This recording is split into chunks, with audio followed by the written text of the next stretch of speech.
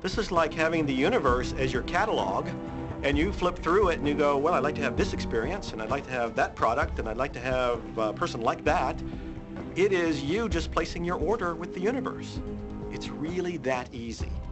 You are the masterpiece of your own life. You are the Michelangelo of your own life. The David that you are sculpting is you. And you do it with your thoughts.